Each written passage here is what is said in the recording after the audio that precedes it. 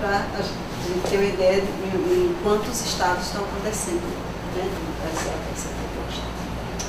Ok?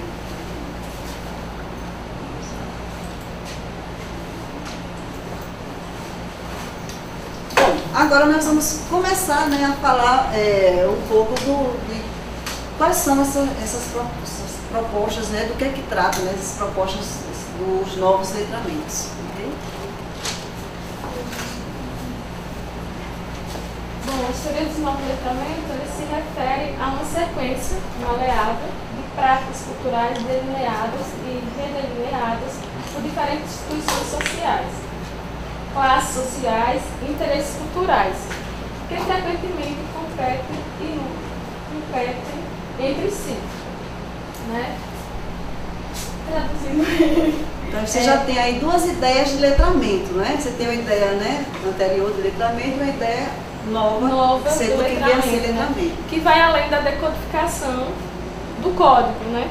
Da, do código, da, da escrita quanto da oralidade. Né? Os novos letramentos eles vão tratar de. são.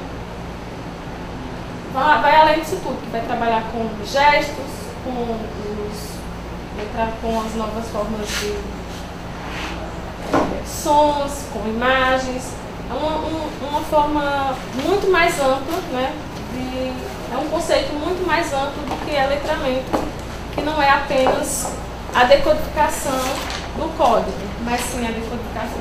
Como a gente pode é, interpretar a imagem, o som, o gesto, né?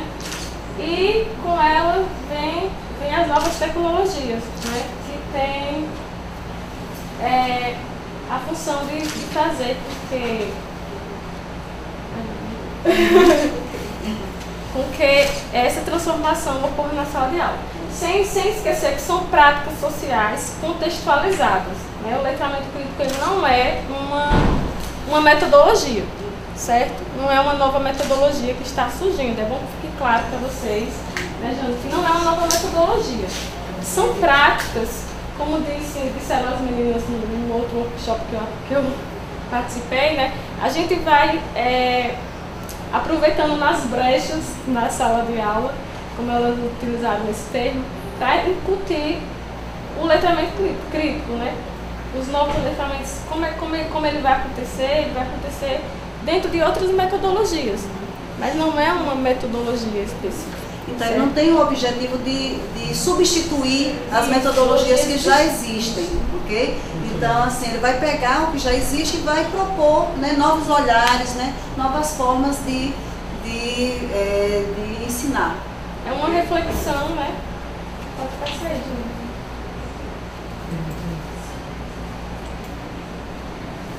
Letramento crítico e letramento digital. O letramento é estar diante de um texto desconhecido e ser capaz de procurar por pistas sobre seu significado. Entender como este texto funciona. Trabalhar o contexto e os propósitos particulares. Significa comunicar-se ativamente em um contexto desconhecido e aprender com seus acertos e erros. Né? É, como eu já estava explicando antes, não é apenas você vai além do, do que está exposto. Né? Você tem que procurar nas várias entrelinhas como podemos e quantas interpretações são possíveis ser feitas desse texto.